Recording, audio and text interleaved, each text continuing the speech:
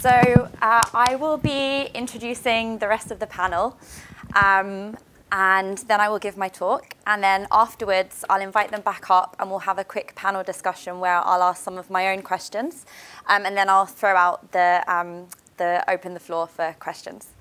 Okay, so Martha Russell is Executive Director of MediaX at Stanford University and Senior Research Scholar with the Human Sciences and Technology Advanced Research Institute at Stanford. She leads business alliances and interdisciplinary research for MediaX at Stanford.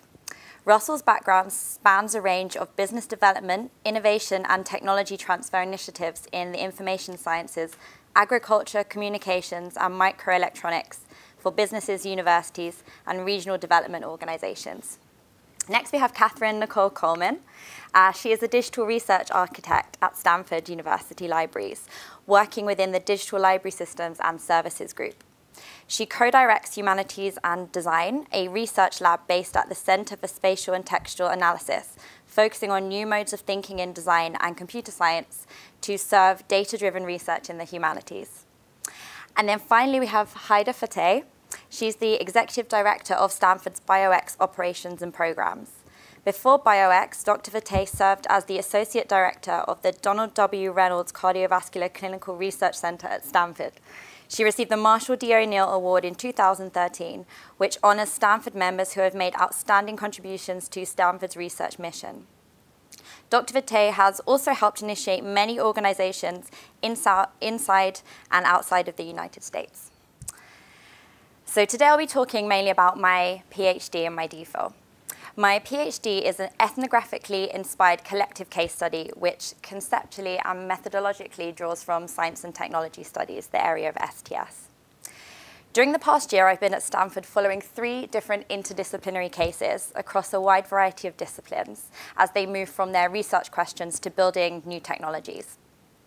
I've collected a large amount of qualitative data through interviews, observations, documentary analysis, technological analysis, uh, and network mapping, all of which allow me to investigate and generate new insights into how interdisciplinarity happens in higher education. What I'm really working to understand is how do interdisciplinary research teams build new technologies? I'll talk in quite general terms about my work um, so that my cases are not obvious. Uh, and I unfortunately can't discuss any of my data at the moment since I'm still in the process of analyzing my findings. So instead, today I'll look at some of the ideas which underpin and are at the core of my work. I'll briefly explore concepts of interdisciplinarity, both in theory and in practice, and how they might play out in different contexts and within different interdisciplinary teams. Whilst my primary research questions are not about trust and transparency, which is the theme of the seminar today, I'll end with discussing some ways that trust plays out in my research. Um, I also just wanted to note that um, for, the, for the purposes of this talk, I won't go into depth about my methodology or my theoretical framing, but in case you're interested, I'm more than happy to talk about them after. So the advent, the advent of the network society has brought with it an increasing prominence to interdisciplinary collaboration as a means of addressing our most pressing societal challenges. Many of the most complex issues require academic researchers to collaborate on solutions that transcend monodisciplinary perspectives. Despite the pervasive disciplinary silos which exist in higher education across the world, the university can act as a hub for interdisciplinary research, as you will see from the three talks which will follow me. As such, funding bodies are increasingly looking for interdisciplinary research proposals, but the effectiveness of the way in which interdisciplinary teams work, what interdisciplinarity actually looks like, how it works in practice needs more attention. But in order for me to study interdisciplinarity, I first need to unpack it and understand what it actually is. So while the word interdisciplinarity is obviously very rhetorically powerful, one catch-all term doesn't provide much analytical purchase, especially since through its very nature, the actors and the stakeholders involved tend to understand and mobilize the concept in very different ways. So here's a basic definition um, I'll read to you of interdisciplinary research.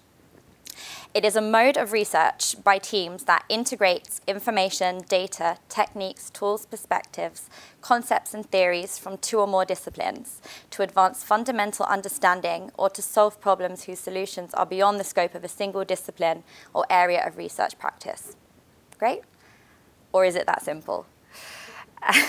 what makes the synthesis of approaches in interdisciplinarity, interdisciplinarity different to multidisciplinarity, transdisciplinarity? Are they all associated to some extent with boundary crossing and synthesizing different knowledge from different disciplines? Or is this purely semantics? Are they actually the same in practice? Should we prize one over the others? Do they represent different relationships and configurations between the disciplines? These are some of the questions that have been coming out of my data collection and questions that I've been exploring. The concept of interdisciplinarity and these other terms, which I'm sure you've heard a lot throughout the university, of course rely on the existence of disciplines. And despite a lot of literature which look at the epistemological, ontological, methodological framings of what is a discipline, there is no one agreed definition or approach to what a discipline is, let alone to what an interdiscipline is, if that exists even. And hypothetically, if we were to privilege interdisciplinarity above these other modes, is interdisciplinarity sing singular or does it exist on a spectrum? Can it only be created within teams or can individuals be interdisciplinary? There's clearly a need for an enhanced theoretical understanding of the phenomenon in order to acknowledge its depth and its complexities. So in the 2008 paper by Barry and Born, Logics of Interdisciplinarity, uh, they argue that there are multiple modes and logics of the phenomenon, each with different characteristics and attributes. And I won't talk through all of them, but just for example, the subordination service um, assumes that there's a hierarchy of disciplines working in a project, that one discipline might be privileged over another. And then projects with the logic of accountability are guided by an impetus to solve a real world problem. Uh, those with the logic of ontology view the collaborative endeavor itself as the methodology. But these concepts only scratch the surface of the potential differences between and within interdisciplinary projects. For example, areas in the hard sciences are traditionally much less attached to disciplinary identity politics than those in the social sciences or the humanities. How might the makeup of disciplines in a project change the outcomes? How might the weight of a discipline within a project affect interdisciplinarity in practice? And how might the development of new technologies by an interdisciplinary team influence that, the outcomes of that project? Once again, these are questions that have been popping up as I've been collecting my data. New and innovative technologies have been positioned as mediating artifacts in interdisciplinary research. But during my literature review, I found that many studies fail to acknowledge the, the co-creation of practices and technologies. It's been suggested that technology can be constructed through the integration of different disciplinary perspectives, and this is one another aspect which I've been looking at. So, for example, and this doesn't come out very well on the big screen, but uh, if you look at this network map, um, each of these nodes is a different discipline and also represents uh, different disciplinary researchers within that discipline. Would it be beneficial if we were to map the technologies uh, that were being created as nodes, as well as the researchers being mapped? If we were to view the technologies emerging from the research as actors engaged in the interdisciplinarity as well, would this change how we view the practices, how we understand them, and what might be the best practices for interdisciplinarity? So whilst I said at the beginning I won't go uh, deeply into my methodology, I did just want to uh, touch upon my use of actor network theory for my PhD to investigate interdisciplinarity in the context of teams co-developing technologies and developing new knowledge uh, demands a particular type of interrogation. The complexities inherent in researching researchers necessitates an approach which can account for all the different participants, all the different technologies, the relationships which are happening within the teams. Interdisciplinary research is a form of knowledge creation and it represents an innovation in knowledge production. So producing knowledge within interdisciplinary research groups uh, is knowledge which would not have been possible for individual disciplinary researchers to produce on their own. Knowledge is an emergent product of the scholarly research process rather than something that exists out there waiting to be discovered. It's a network effect, and it can emerge from an interdisciplinary network. This means that knowledge and technology are increasingly bound up, and it's hard to separate the two when we look at interdisciplinarity.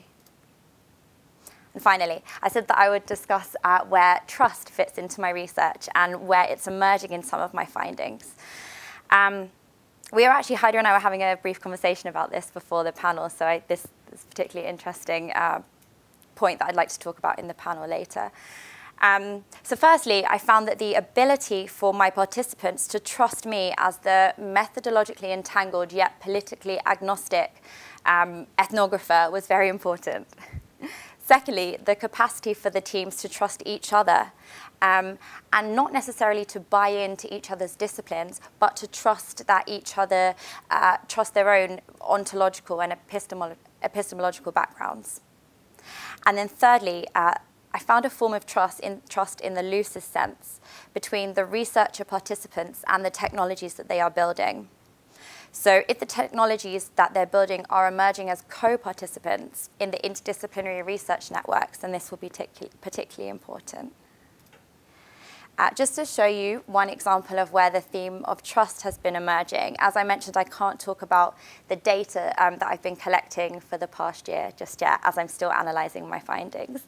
But uh, this is uh, an example of the four case studies I looked at during my pilot project, which uh, I undertook for my master's at Oxford. So um, along the left are the four different interdisciplinary projects I looked at. And then here are the researchers that were engaged in the projects, and they, I also looked at the technologies that they were developing. So just to give you an example, um, uh, I'll hone in on the poetry visualizations, project two. Um, the project had, had created a poetry analysis tool. It was a piece of software um, between the three researchers. And the poet said to me during the research, the thinking um, she did about poetry in response to the project is thinking that she probably wouldn't have done without the pressure of the machine. It had, somewhat to her surprise, intensified her lifelong practice of observing how poems operate. So the trust she gained not only in the software, but also in the other researchers, uh, the linguist and the computer scientist who co-created the technology with her, uh, was notable. Uh, as you've probably noticed, I've asked a lot more questions than I've answered during my talk. Um, and I apologise I couldn't talk more about the data I've collected during this year, but the questions I've asked, um, I would be really interested in discussing further during the panel. Um, and after the panel as well, I'd be really grateful for any audience comments on my research, uh, any of the questions I've asked. Thank you very much. I really like the questions that you're asking, Erin.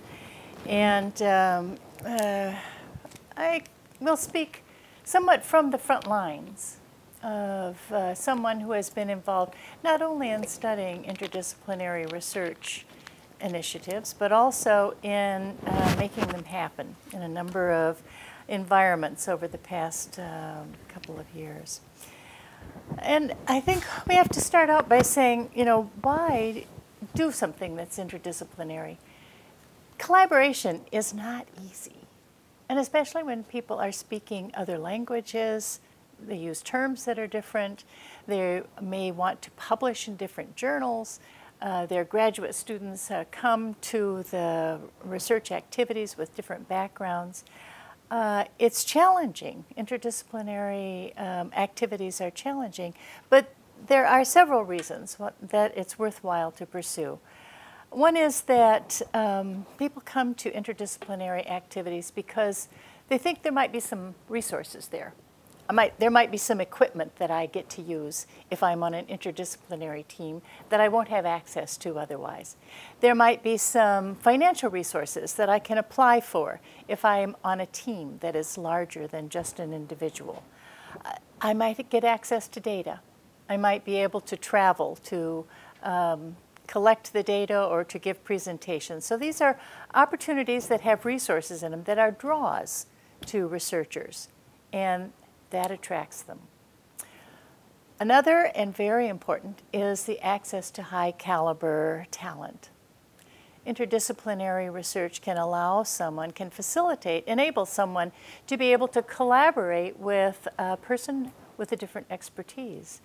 And the, uh, the lure of working with an expert in another field uh, is very powerful in terms of uh, access to the colleagues, access to students, maybe access to a new subject um, pool for the data collection.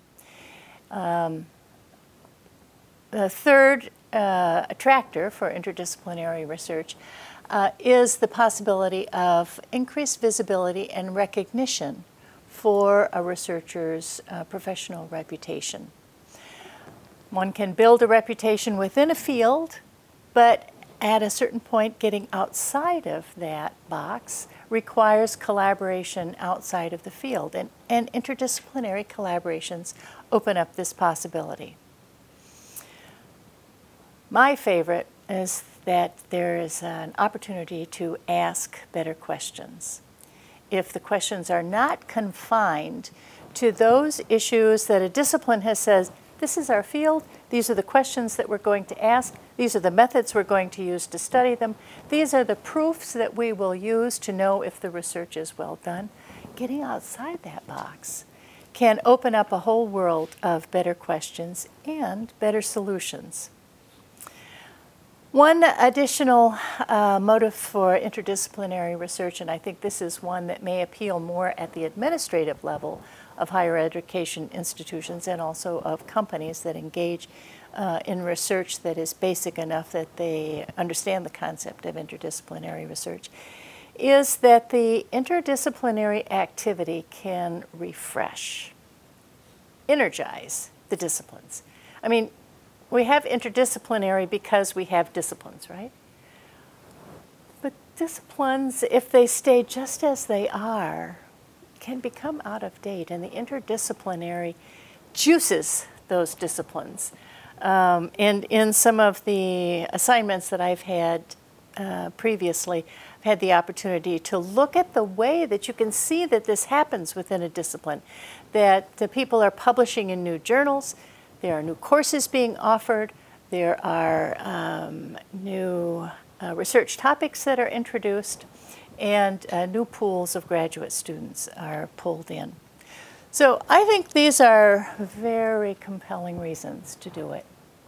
Why is it challenging? Well, a couple of reasons. You know, we may people may be collaborating, but in the end, they take home separate paychecks. They are rewarded with incentives, promotions, recognition, most of the time in individual ways.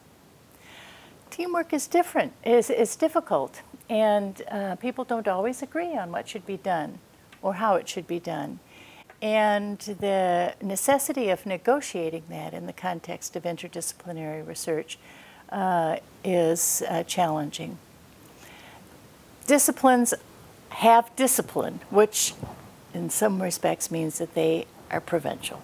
And so getting outside that um, box, finding the peers that can review an interdisciplinary research proposal is challenging. Finding the journals that will accept uh, the publication of interdisciplinary research is challenging. Uh, the fourth uh, challenge that I will mention is that while interdisciplinary research generally tends to be um, lauded uh, in academic institutions and in business research organizations, it does happen that management issues sometimes trump the leadership opportunities that are re represented by interdisciplinary activities. In other words, budgetary restrictions, IP restrictions, many of these management issues sometimes do trump the leadership that uh, emerges in interdisciplinary research. But it has a lot of potential, and uh, in activities that uh, I've done previously, I think cartoons may kind of bring to life some of the issues. One of those is who's going to run the program? And we've all seen the tension in interdisciplinary research of the group variables and the task focus variables. In other words, uh, the opportunity to make everybody feel that they are contributing, that they're part of the solution, and, and the need to get things done. and the person who self identifies or is identified as the group process lead. Uh, the person who says, No, I have the right way and I'm going to tell you how it should be done. They exist and they often stimulate uh, a need for coordination. And sometimes the coordination, you know, uh, leans a little bit toward conformity rather than expressing differences that actually enrich the collaboration. The way that leadership emerges and changes over a period of time as the group continues working together uh, is complex and um, groups uh, differ in the way that they, in their ability to embrace the differences that actually bring them together to do the research. But also, one can find that a group that is together for a period of time begins to kind of act like a married couple. They can finish each other's sentences. And the staleness in the intellectual vitality that sets in there um, is uh, an opportunity for intervention or for uh, a, a, new interdisciplinary uh, activity to be identified. Well, I also pay very close attention to the um, relationship that academic researchers have with uh, the business community. MediaX is um, a bridge and a catalyst to stimulate those activities. And some of the same challenges that exist for interdisciplinary research exist for um, the relationships, research relationships and collaborations between industry and university. The drivers are different. in the university, we want papers, we want publications, we want uh, graduates. In the business community, in, they're interested in patents, they're interested in new products and moving those along. The timelines are different. Our time cycle in the university, if you look at the time that it takes to produce a new PhD, is five to seven years. If you're working in digital media, the time cycles may be five to seven seconds. If you're working in the pharmaceutical industry, they may be longer, but uh, they don't always match up to the industry, uh, to the university time cycles. And the incentives are different. Um, there aren't many universities that offer bonuses for extraordinary work that's done at the end of the year. And the language is different. Well, all of this means that trust and reciprocity are the vehicles, they are the currencies, I want to say, that help to make the interdisciplinary research, um, uh, interdisciplinary interaction, and industry university interaction work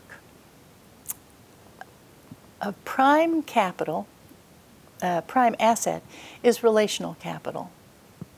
And this is trust. This is reciprocity that people have with each other. And this is built through experience. Uh, it can be lost in the very same way. It means it, it relies on dependability, on honesty, on humility.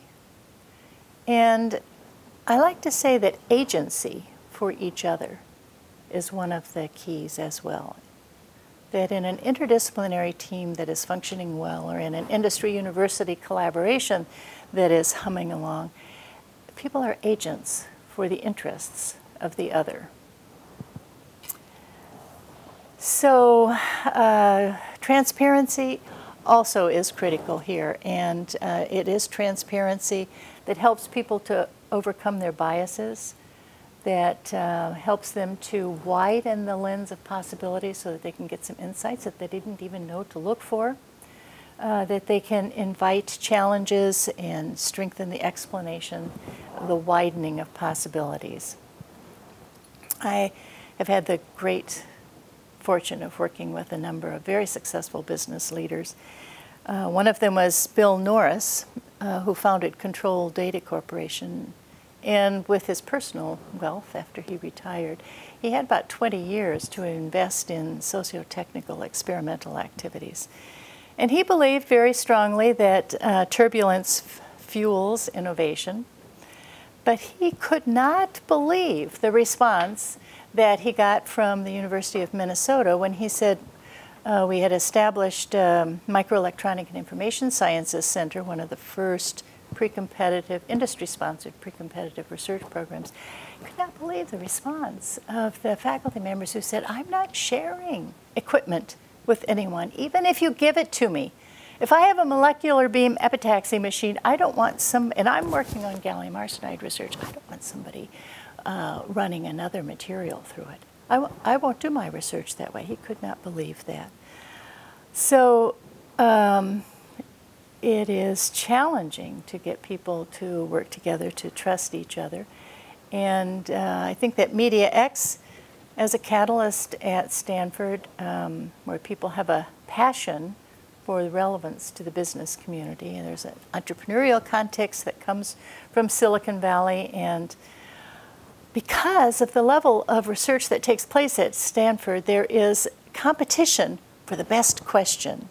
And I think this is one of the very best uh, opportunities for interdisciplinary research to thrive because a focus on the uh, question uh, allows people to be agents of transformation for each other. Um, just a word about MediaX. As an ecosystem for discovery collaboration at the intersection of human sciences and information technologies. There have been a number of uh, research projects that we have sponsored. We're a member supported organization, um, about 120 now. This shows the various fields in which they have been conducted. Uh, Erin was one of the authors on this study. And the College of Engineering, the Graduate School of Education, uh, Humanities and Sciences, Law, Medicine have all been uh, part of this. And looking at the uh, way that relationships over a period of time, through the themes that we have brought to bear and the uh, collaborations that have uh, taken place among faculty members from various disciplines, we really do see an emergence of a shared vision, uh, a passion for understanding, for working with others to open the realm of possibilities. But I think that a couple things are important, and that is um, in interdisciplinary research, you call it a facilitation, or I don't like the word management, enabling. Never forget the goals. And I think for me, to X, the goals are to add value to the intellectual capital at Stanford University and to do something together with our industry partners that they couldn't do or we could do by ourselves. Uh, and to do that in a way that leverages technology to enhance the human experience. Thank you. Good afternoon. Uh, I'm Heideh Fattaey. I'm from BioX. And uh, Erin, I couldn't have choreographed this better myself, so fantastic job choreographing the whole thing.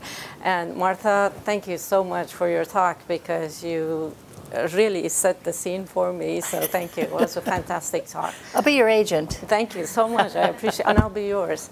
Um, uh, thank you so much. So.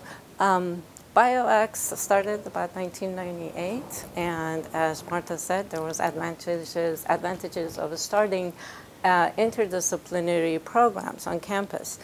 Uh, President Hennessy at that time thought that the sum of the product of what we can bring together, working together, is a lot larger than if we were working in our individual silos. There were several faculty that followed that lead and worked together. They had postdocs together, PhD students together, and very soon the BioX program was formed. This is back in 1998. Um, to jumpstart the program, President Hennessy actually uh, put some funding into the program to get faculty together and give some uh, seed funds so that faculty can start working together.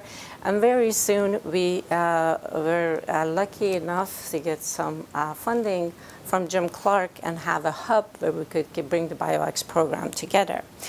So then uh, BioX program started and um, our mission which is to catalyze discovery and crossing of the boundaries between disciplines to bring interdisciplinary solutions and to create new knowledge of biological system in benefit of human health started. BioX is really a model for high performance research that universities can operate across disciplines. It's a web of interconnected and collaborative scientists across entire campus. Just recently, a couple of years ago, uh, the National Academy of Science actually coded that an, it's an interdisciplinary success story and BioX is leading the model for conducting biosciences research. So we were very proud to see this at the National Academy of Science level. Uh, we we actually um, we try to educate a new breed of scientists, Nobel laureates, highly sought faculty, and rising young scientists and engineers all benefit from working together. And as I mentioned, the product of our work together is a lot larger than us working in our individual silos. How do we accomplish this? How do we bring people together? We have a series of uh, programs for faculty, for faculty, for uh, PhD students and postdocs, and for undergraduate students, just to bring people together, to work together. And we have a hub, the Clark Center.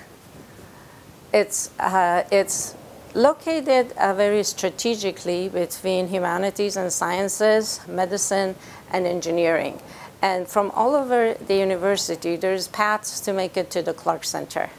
And um, great things about the Clark Center is not only we have 50 faculty from 28, 28 different departments in the building, we have shared facilities, open lab spaces, uh, we have a nice restaurant to bring people together, and you'd be amazed how much interdisciplinary work can get started right here at the restaurant and cafe when people get together and sit and talk while they're having coffee or a sandwich together. We have spaces where people can actually meet. We have about 8,000 meetings held at the Clark Center every year. And people actually use these spaces to get together and do collaborative work. To tell you a little, little bit about our programs, for our faculty, we have this seed grant program. We provide faculty funding to come together propose a research that they wouldn't do in their individual silos, but coming together, they, they propose, a, they propose a, a project and they come together and work together. Between the past 16 years, we have gone through eight rounds of seed grant proposals we have funded 187 teams of faculty. Altogether, through, through our programs, we've been able to bring over 3,000 teams of faculty together to work, work together. As Martha was saying, we give them incentives to come together. And once uh, they accomplish they see that it's a good thing and they keep doing it again over and over again. So some of our faculty have teamed up with different people during the past 18 years and have uh, come, together to do different projects. Um, our PhD students, we have funded about 248 students so far. Uh, 22 more actually are uh, just got their awards this year. We just announced this uh, second, this last 22 students this year. And uh, undergraduate students as well, they can get a 10-week summer program. Um, they come to labs, they learn how to do research, and they get a taste of interdisciplinary research. We bring them together every Wednesday afternoon, um, and they listen to talks from four different faculty, and they get to talk to four different faculty. So we really um, try to empower faculty, graduate students, and undergraduate students to actually do interdisciplinary research. The seed grants, as I mentioned to you, uh, we've gone through eight rounds. 187 seed grants have been awarded. 20 more will be awarded in October. Through the seed grants, 900 interdisciplinary teams have come together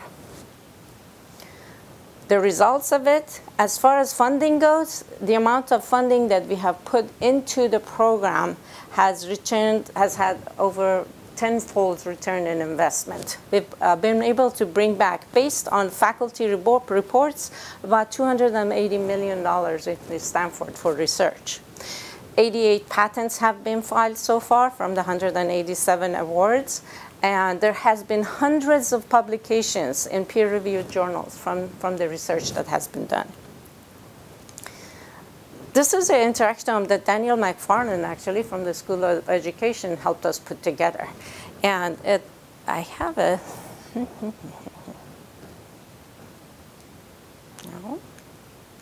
This has a little movie underneath this. How can I get this to play that? It's, it's a tiny one. It's not much. It's just a slide forwarding. It's an interactome that Daniel McFarland took all our uh, data from, um, all the data from our uh, website right there, if you just started, and showed how we increased the number of faculty collaborations. The different colors are people from different schools, and then the connecting dots show how much collaborations they've done. And you saw how that grew in the years that come. So um, trying to keep track of time. Oh my God, time flies. uh, the result of some of the work, uh, one is Simbios, which is simulation biology. It's a software that now tens of thousands of lab groups are using. And uh, this was done by a group of faculty. Uh, $200,000, $150,000 seed grant became $37 million in funding from NIH. Um, this is another, another project that was funded. This also has some sounds. I'm not going to bother you with going through that. But this was a faculty from the music department, actually, that got together from a medical doctor in neurology. And they built this device where they can actually detect epilepsy. So once this device is put on the brain of a child with epilepsy, for example, at school, um, music plays. And depending on the sound of the music that is playing, his mother, her, his, her father could tell how severe of a issue the attack is. Um, those are the sounds, I'm not gonna play them. Our fellowships are the only fellowships that I believe on campus where students are self-nominated. We don't give the funding to the school, we don't give the funding to the department. Students get to do what they're passionate about doing. They work with two faculty, come up with a project, we give them the funding, they do the work. So they actually are excited about what they're doing. Uh, we funded about 248 students so far and since 2004, and we, uh, it's a three-year funding for PhD students starting their second or third year. So after that, we give them three, three years of funding. Uh, how much time do I have? One minute? Oh my goodness. Okay. Um, so this, uh, this faculty here used to be one of our graduate students. He's now a faculty in structural biology. Um, his students are getting funding from us, and now she's graduated, and she, she has a job at Google. So and this is one of their projects. Uh, I'm not going to get into the details, but um, this is what we used to see with this imaging system, but with the system that they built, this is what we can see inside of the eye. This is amazing if I could get into it and tell you what they've actually done. Um, this is how where, where, our students end up. 99.9% uh, of our students that have graduated have jobs. This is unheard of. They're either doing postdocs, they're MDs, they're faculty, or they're at the industry or started their own programs or their, their own companies. Um, our undergraduate students are uh, extremely uh, successful. Uh, they're also graduating, becoming MDs, starting their own programs, and we've so far funded about 501 students. This summer, we're going to have 64 more students. Um, I can't get into the industry, but I think I'm going to end, end up not having enough time. So if you have any questions, I'll be more than happy to answer. Or, thank you. No slides for me. Um, as Erin said, I'm Nicole Coleman. I'm um, with uh, the library uh, and also Humanities Plus Design, which is one of the research labs at CESTA, the Center for Spatial and Textual Analysis. Um, wow, $280 million. Can't even imagine. Last week uh, was the inaugural meeting for Stanford's Human Centered AI Initiative. which is directed by Fei Fei Li, um, associate professor in computer science, uh, and also head of the, the Stanford AI Lab and the Stanford Vision Lab. Um, so Fei Fei Li and John Etchemendy are both um, uh, directing this new initiative. Um, Fei Fei Li is personally dedicated to addressing the need for diversity in AI and to make sure that AI technologies are informed by a wide range of human concerns. Her project, for example, AI for All in particular, is dedicated to bringing diversity to AI through uh, education.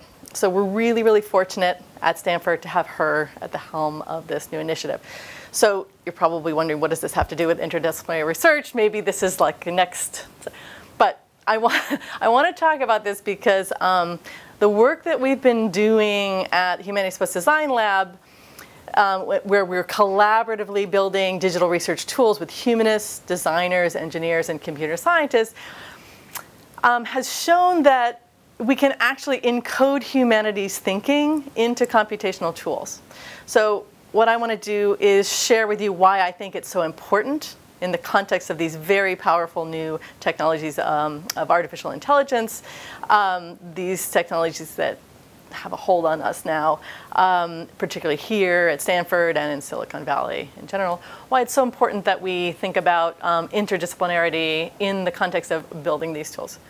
Um, so Fei Fei Li wrote recently this um, New York Times um, op-ed piece um, all explaining human-centered AI saying that it's really about making AI that's good for people.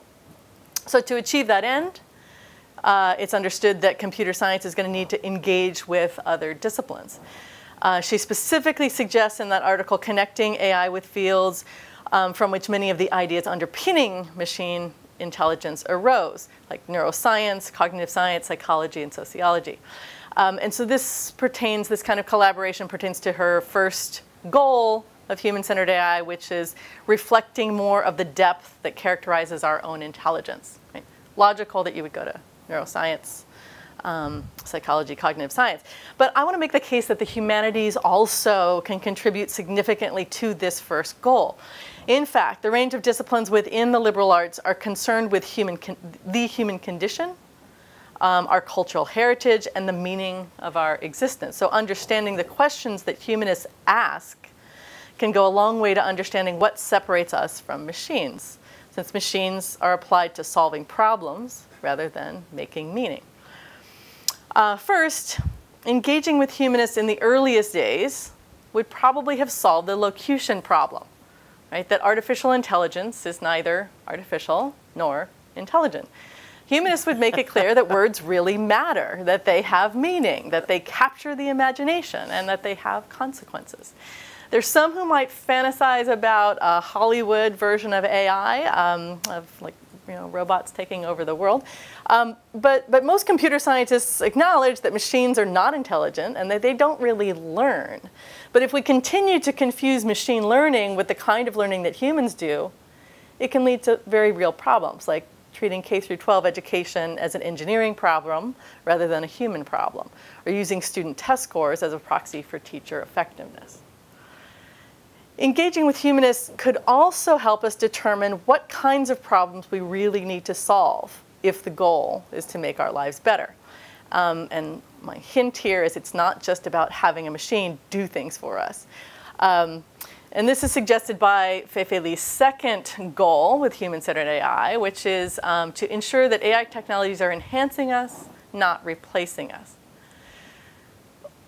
To give you an example of what I mean by this is um, I have a dishwashing machine. And um, I don't really need it. Most of the time it's not necessary. There are just two of us at home. But it is particularly helpful when we have lots of guests over. It means that we can spend more time with our guests, right? And let the machine wash the dishes. But the kind of household machine that I find really, really useful, because I've done a lot of work on my house, um, is a power drill. It's versatile, helps me do things that I want to do faster with less effort according to my design that's a huge difference, right? Something is just going to fulfill a task independently, press a button and it runs, versus something that does exactly what I want it to do. That's enhancing, right? Um, augmenting. Um, there's so many AI-assisted technologies that try too hard to do a task for me rather than augment the work that I want to do. Many of you may have seen or heard just last week or the week before about Duplex, which was unveiled at the recent Google Developers Conference. Um, the Google CEO demonstrated this Duplex, which is an automated assistant, um, by making an appointment to get a haircut.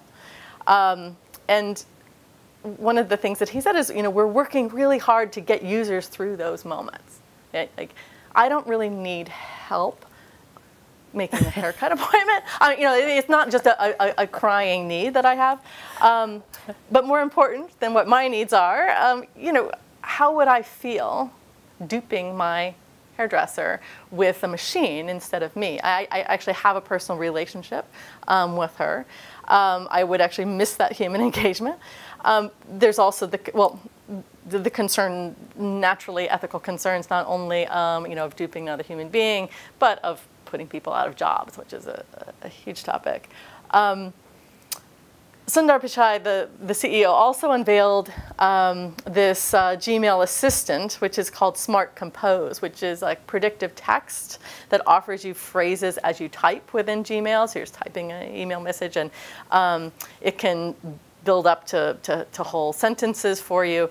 Um, and it's described as being designed to tailor its predictions to each individual user based on information that Google already knows about you. There, there's so much that's wrong with that, I think. And if, um, I don't want to be predictable myself. Um, life is not predictable.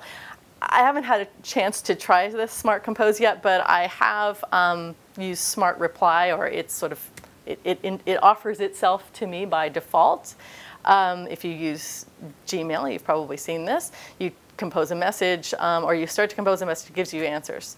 So recently, I received a message from my partner who was struggling with how to respond to our friend's request to end his life. Google's smart reply suggested, sounds good, or I like it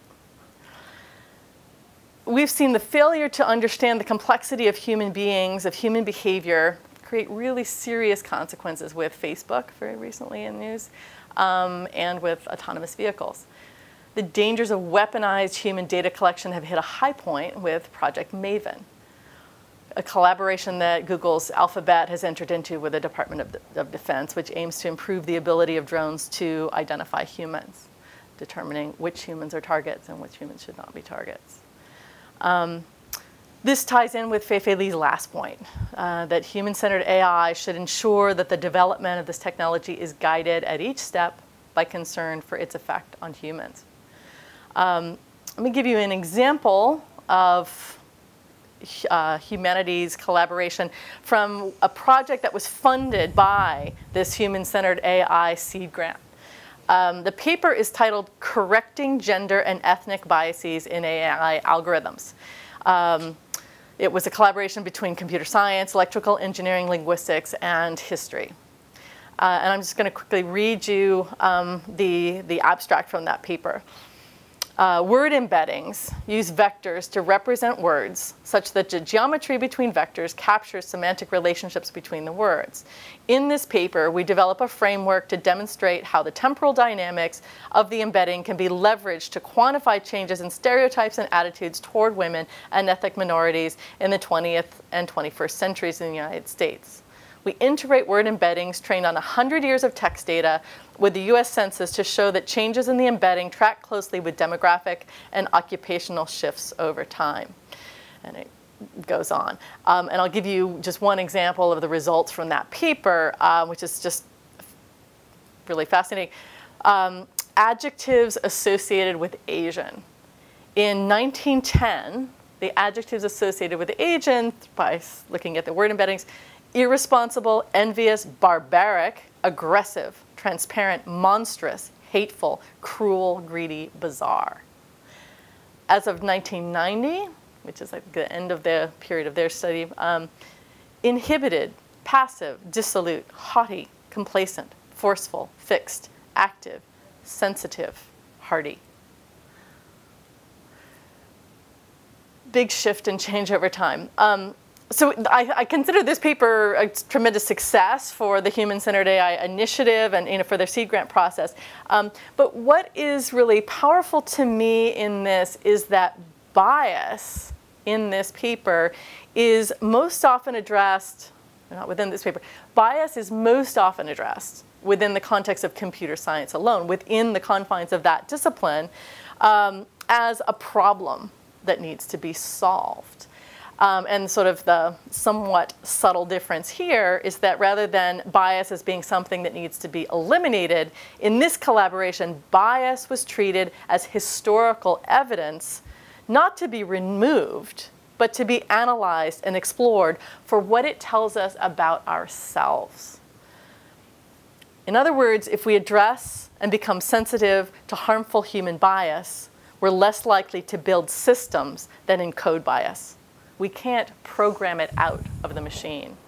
We have to work on ourselves. Thanks. Thank you so much. Uh, they were both fantastic talks. Um, unfortunately, Heideh had to run off to another engagement.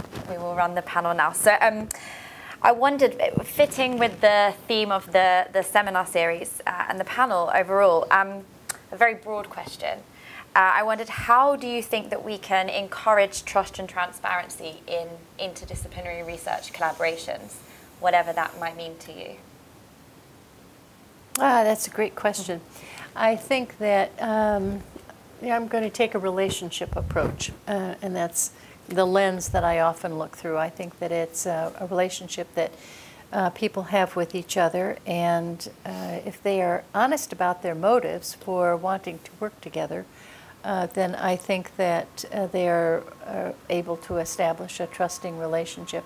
But I also think that humility is important in coming into uh, a relationship with someone who has a different expertise uh, requires a humility about my own expertise that is saying I'm willing to open up what I think might be an explanation, what I think might be a way of doing this, to your suggestions, and to you know if there are differences, to try to understand how there's something that we can come together uh, and agree upon uh, as a way that we would be working together.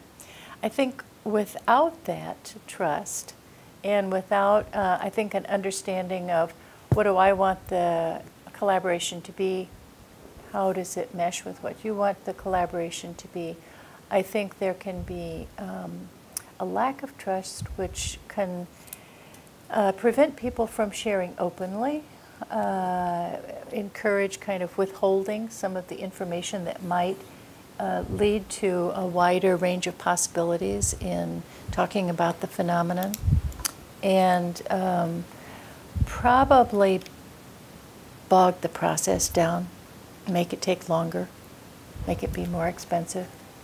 Um, I'm sometimes asked what it costs to do interdisciplinary research.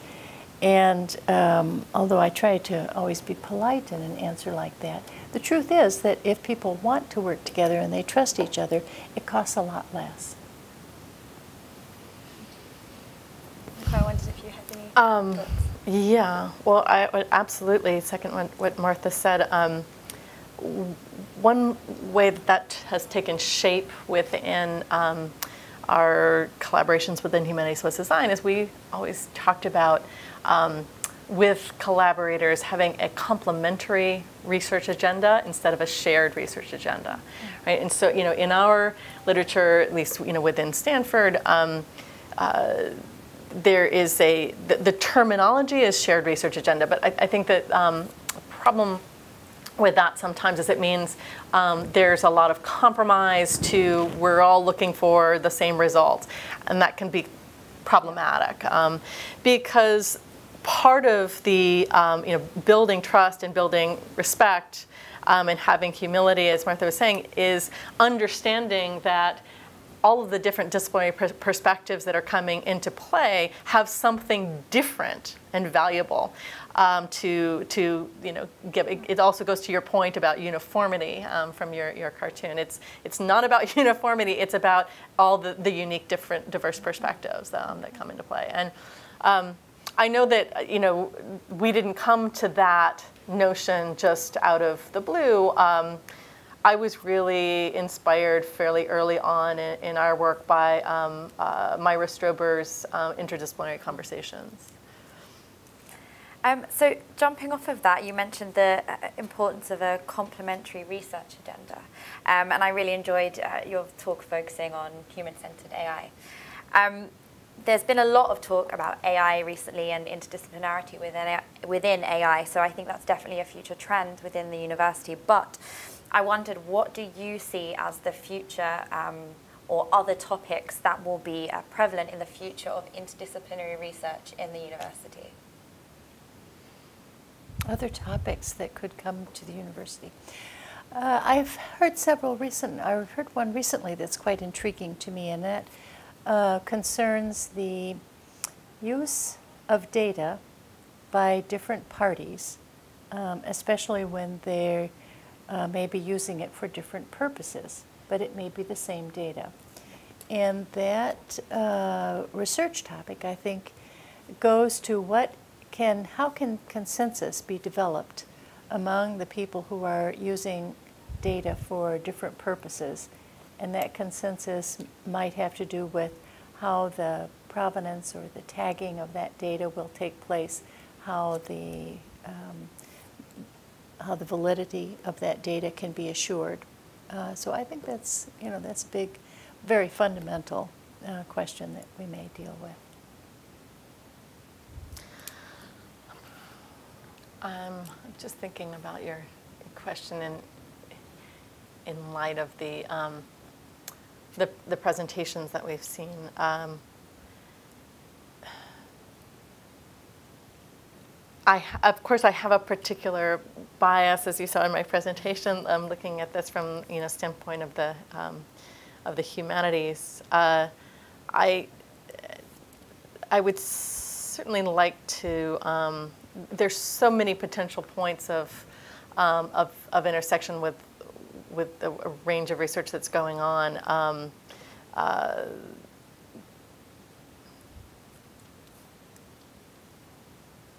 it's almost, yeah, I don't know, it's almost too many to, to point to any particular one that I can um, think of.